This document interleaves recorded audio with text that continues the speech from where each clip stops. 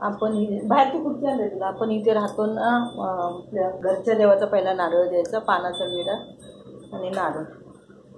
आणि त्याच्यानंतर मग बायांचा नारळ द्यायचा. आजीच्या अंगात बाया होत्या त्या काही जायच नाहीत चौकशी केलेली तर त्या चांगल्यासाठी तुम्ही कुठलंही चांगलं काम कराल उद्या खोलीची पूजा कराल आमचं कराल तमकं कराल त्यावेळेला तो बायांचा पण नारळ द्यायचा.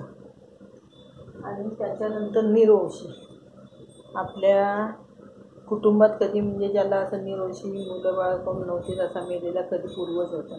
तर ए जाऊ नको रे! तर त्याचा नारळ द्यायचा तो निरोशीचा